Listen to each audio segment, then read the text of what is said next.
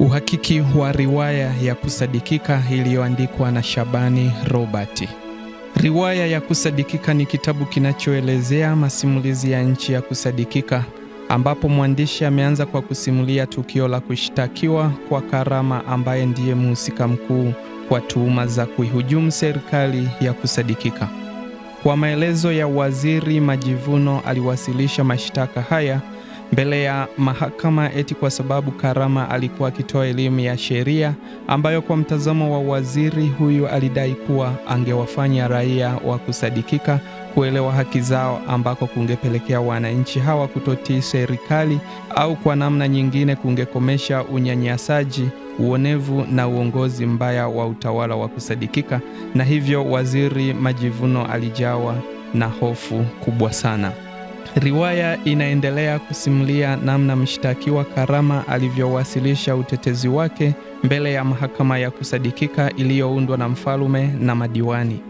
Karama aliwasilisha utetezi huo kwa kuthibitisha jinsi serikali ilivyoshindwa kuthamini michango mbalimbali ya wananchi wake, kwa kuelezea historia wajumbe mbalimbali waliojitoa kwenda kufanya utafiti wa namna ya kuendeleza nchi yao. Masimulizi yake yaliwataja hasa wajumbe sita waliotumwa mipakani na pande zote sita ambazo nchi ya kusadikika inapakana nazo. Pande hizo ni kaskazini, mashariki, kusini, magharibi, mbinguni na ardhini. Hatima ya wajumbe hawa ambao walikuwa wazalendo waliishia kifungoni pindi waliporejea kutoka walikotumwa. Mwisho wa riwaya hii, mwandishi anaelezea hukumu ya Karama ambapo mahakama iliongozwa na mfalme ilivyomtoa hatiani mtuhumiwa kwa kauli moja tu ya kuwa hana hatia, na mfalme kuagiza wajumbe wote waliokuwa wanatumikia kifungo kufunguliwa na kulipwa fidia kwa kunyanyaswa pamoja na jitihada zao. Baada ya mhitasari wa masimulizi ya nchi ya kusadikika, niliweza kujadili vipengele vinavyounda fani na mauzui ya kazi ya riwaya ya kusadikika kama ifuatavyo. Nilianza na fani. Fani ni nini? Fani ni ujuzi au mbinu mbalimbali azitumiazo msanii kuwasilisha ujumbe au fikra zake kwa hadhira iliyokusudiwa. Fani inaundwa na vipengele vya mandhari, wahusika, muundo, mtindo na matumizi ya lugha. Maudhui ni jumla ya mawazo yanayowasilishwa na msanii wa kazi ya kifasihi katika kazi yake. Maudhui huundwa na vipengele dhamira, ujumbe, falsafa, migogoro, mtazamo na msimamo. Uchambuzi wa vipengele mbalimbali alivyovitumia mwandishi wa riwaya hii ya kusadikika ni mandhari, ambayo humaanisha mahali au sehemu ambayo tukio linafanyika. Mwandishi ametumia mandhari ya kufikirika ambayo haiwezi kujidhihirisha kwa macho ya kawaida, yaani haionekani, kwani ni nchi inayoelea angani. Pia ametumia mji wa Sadiki na mipaka au pande sita zinazopakana na nchi hii za kaskazini, mashariki, kusini, magharibi, ardhini na mbinguni. Wahusika ni mtu au watu, wanyama na mimea anaotumia mwandishi katika kuwasilisha kazi yake kwa hadhira iliyokusudiwa.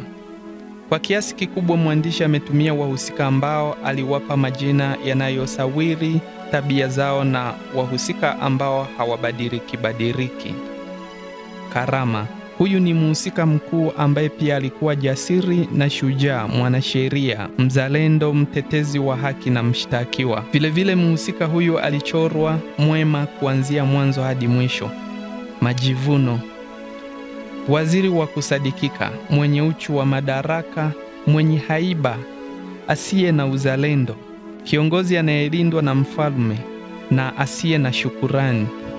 Mfalme, kiongozi wa kusadikika, katili, mjinga, mwenye tamaa ya uongozi, mkuu wa baraza la mahakama. Madiwani, wasariti, wakuu wa mahakama, waonevu, wakatili wenye dhuluma na sio wazalendo. Mdiri wa sheria, mwanasheria wa serikali, mjinga, msaliti na asiye mzalendo. Burhan, mjumbe wa kaskazini, jasiri, mzalendo, mpenda haki, mwanaharakati. mfungwa na maskini. Msanii anasema hii ilikuwa safari ya ujasiri iliyotaka uthabiti na matumaini. Hodari na mwaminifu alitakiwa jitolee mwenyewe kwa safari hii. Ukurasa wa 12. Fadhili, mjumbe aliyetumwa mashariki, jasiri, mzalendo, mpenda haki, mfungwa na maskini. Mtu mwenye sifa njema alitakiwa kujitolea mwenyewe kwa ujumbe wa mashariki, na mtu kama huyu alipatikana upesi sana kuliko ilivyokuwa ikitazamiwa. Hii inapatikana ukurasa wa 16. Kabuli, mjumbe wa kusini, jasiri, mzalendo, mpenda haki, maskini na mfungwa. Aun, mjumbe wa magharibi, jasiri, mzalendo, mpenda haki, mwananchi wa kawaida na mfungwa. Sapa na Salihi walikuwa vipofu, wananchi wa magharibi. Sapa alikuwa mwenye tamaa na wivu. Sapa alikuwa mpole. Sapa aliomba upofu. Radhaa, mjumbe wa mbinguni, jasiri, mzalendo, mpenda haki, mfungwa na maskini. Amini, mjumbe wa Arizin, jasiri, mpenda haki, mzalendo na mfungwa. Wahusika wengine ni wananchi Bwana Tadabun, katibu wa serikali Bwana Komeni, amiri jeshi Bwana Fujo, mlinda hazina Bwana Baromini na wananchi wa pande zingine. Muundo. Muundo ni namna au jinsi mwandishi anavyopangilia visa na matukio katika kazi yake ya kifasihi. Mwandishi ametumia muundo wa moja kwa moja ambapo katika mpangilio wa masimulizi ameanza mwanzo wa kisa kwa kuonesha jinsi mashtaka yalivyowasilishwa, kukafuatiwa na utetezi wa mshtakiwa au kile mwandishi alichokiita maombezi ya mbele ya mfalme na madiwani, kwa kusimulia historia ya kusadikika kupitia wajumbe sita waliotumwa pande sita na kuishia kifungoni kama sehemu ya pili ya kisa, na hatimaye alimalizia kwa kuelezea hukumu ya kesi ya Karama ambapo mfalme na madiwani walionyesha kuwa mtuhumiwa hakuwa na hatia na kufunguliwa kwa wajumbe sita na kuachiwa huru huku mfalme akiamuru walipwe fidia. Mtindo. Mtindo ni namna mwandishi anavyoiumba kazi yake ya kifasihi. Mwandishi Shabani Robert ametumia mitindo mbalimbali mbali katika kazi yake ya riwaya ya kusadikika kama vile. Ametumia maswali hasa katika sehemu ya mwisho ya kitabu. Ametumia daiolojia kati ya Sapa na Salihi, ukurasa wa 29. Ametumia masimulizi kwa kiasi kikubwa katika kazi hii ambayo kwake ndiyo mbinu kuu, pamoja na matumizi ya nafsi ya pili na tatu umoja na nafsi ya tatu wingi, sehemu kubwa ya riwaya. Ruha. Mwandishi ametumia ruha ngumu ambayo si rahisi kueleweka kwa msomaji kutokana na kutumia misamiati isiyoeleweka. Hali hii ya kutumia ruha ngumu ililengwa kukwepa makucha ya wakoloni. Mfano wa misamiati hiyo ni sudus, takirifu, kafaungo, hutasawari, akapatilizwa, ali, kujikaga juu, kayabisika, kujikaga kadura na kadhalika. Pia mwandishi ametumia vipengele vya tamathali za semi methari: kitanda usichokilalia hujui kunguni wake, msiba wa kujitakia hauna kilio, lila na fila hawatangamani, misemo: kumtosa mshtakiwa katika bahari ya maangamizi, tashibiha Umri wake mkubwa ulizifanya nywele zake za kichwani kuwa nyeupe kama fedha. Uso wa kipofu wa kwanza ulikuwa na furaha kama bwana harusi. Alikuwa na tabia ya kuficha siri kama kaburi lifunikalo maiti. Ana maneno kama kitabu. Tashihisi, giza limezaro nuru na hufupisha uoni wa macho. Wakati una mabawa kama ndege. Ukurasa wa kumi na moja. Jina la kitabu kusadikika.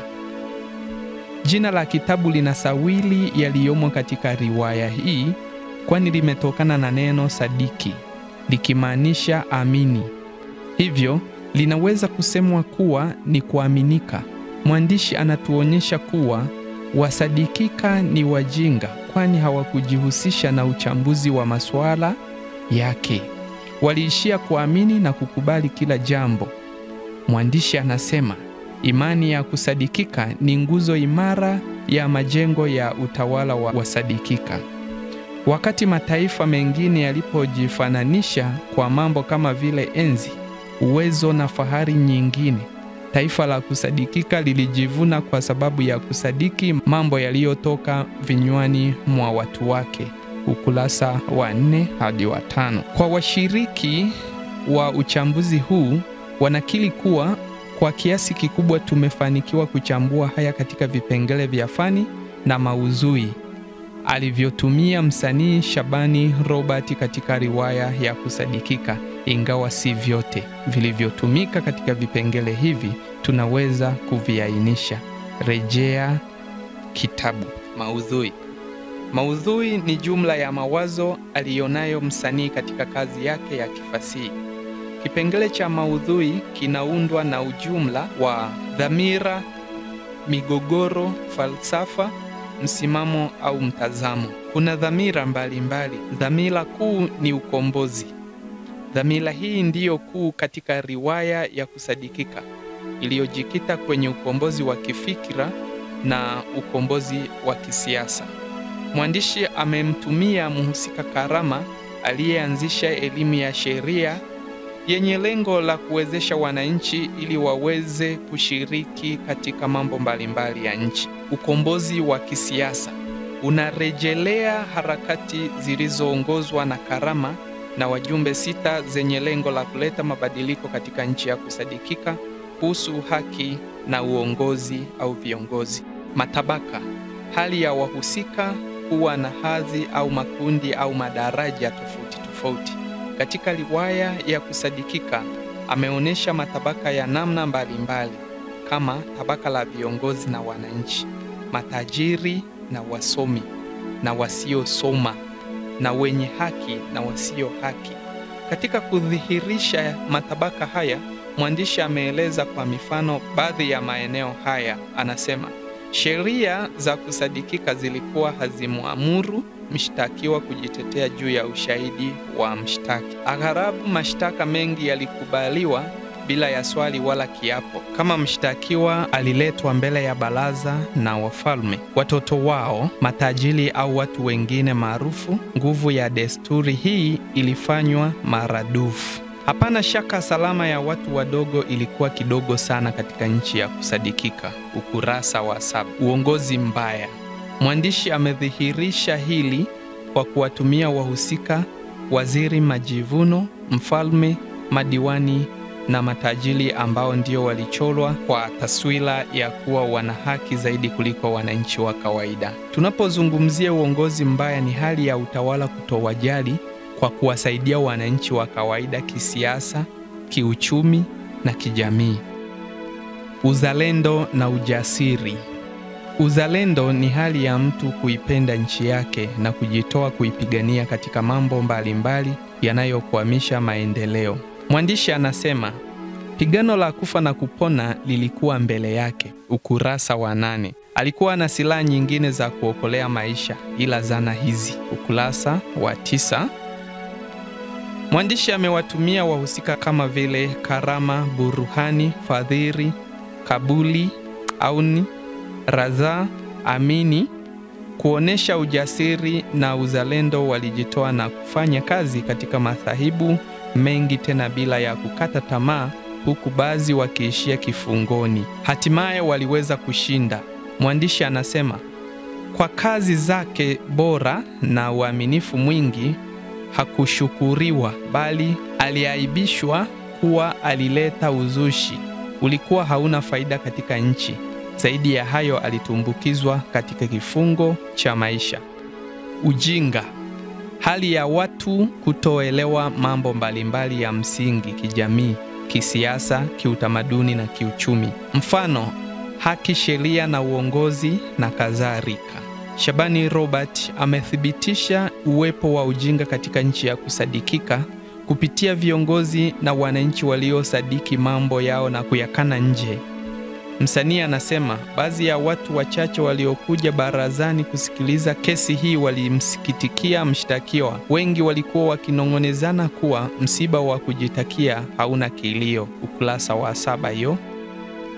Uonevu na ukandamizaji au kukosekana kwa haki, hali ya kutothaminiwa, kupewa haki na kuhukumiwa bila ya kufanya kosa lolote na wakati mwingine kutopewa nafasi ya umuhimu katika tabaka fulani la watu. Sheria za kusadikika zilikuwa hazimwamuru mtu yeyote kujitetea juu ya ushahidi wa mshtaki. Ukurasa wa saba. Bruhani, Fadhili, Kabuli, Aun, Radhaa, Amini walifungwa tena kwa kunyanyaswa. Mwandishi anasema, natoa amri watu sita waliotajwa wafunguliwe mara moja. Inasikitisha sana kwa dhuluma juu ya watu hawa.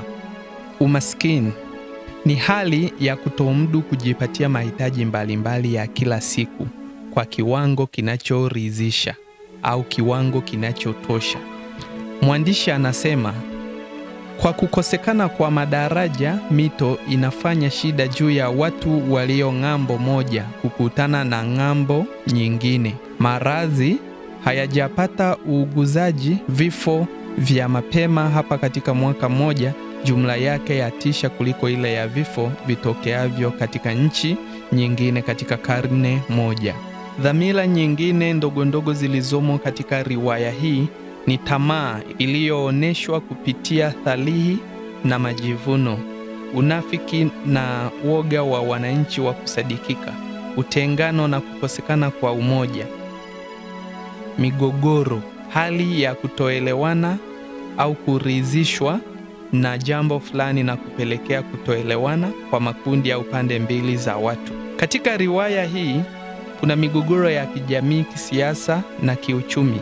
Mfano wa migogoro ya kijamii ni mgogoro wa Sapa na Salii uliotokea baada ya Sapa kuomba upofu kutokana na tamaa ya Salii kutamani vitu vya Sapa. Mgogoro nafsia ni hali ya mtu kuhofia jambo fulani na kupelekea mtu huyo kuwa na msongo wa mawazo. Mwandishi amemtumia waziri majivuno aliyekuwa na hofu ya kupoteza madaraka na kukomeshwa kwa ukandamizaji endapo wananchi wataelewa sheria mbalimbali za kusadikika walizokuwa wakielimishwa na Karama. Hatimaye aliamua kumshtaki. Ujumbe: uongozi mbaya unaochangia kwa kiasi kikubwa kukwamisha maendeleo ya wananchi. Kuwepo kwa hali ya uzalendo katika nchi ni chachu ya maendeleo na mafanikio katika jamii. Swala la uelimishaji, yaani elimu, ni muhimu katika utambuzi wa wananchi katika shughuli mbalimbali za kijamii. Tamaa na uongozi kujadili maslahi kunapelekea hali duni ya wananchi walio wengi. Viongozi wanapaswa kuthamini haki za wananchi wanaowatumikia. Msimamo wa mwandishi katika riwaya hii ni wa kimapinduzi, kwani anaonyesha jinsi jamii inavyopaswa kujituma tena kwa ujasiri kupigania haki na mabadiliko ya wananchi wote. Mtazamo wa mwandishi wa riwaya hii ni wa kiakinifu, kwani kwa kiasi kikubwa umeakisi mambo mbalimbali yanayoweza kufuatwa katika kufanikisha maendeleo ya jamii yoyote kama vile mgongano wa mawazo, uzalendo na ujasiri, uelewa na mambo mengine. Aidha, yapo baadhi ya maeneo yanagusia mtazamo wa kizanifu kama vile kusadiki kila kinachosemwa na watawala. Falsafa ya mwandishi, wema hushinda ubaya, amedhihirisha hili kupitia mhusika Karama aliyechorwa kama mtu mwema dhidi ya Majivuno aliyechorwa kama mtu mbaya. Kwa taswira hii, Karama amewakilisha wema wote katika jamii ya wasadikika na Majivuno anawakilisha wabaya wote katika jamii hiyo. Mimi nimechambua kwa kuzingatia vipengele vya fani na mauzui ili uweze kupata na kuelewa vizuri hii riwaya.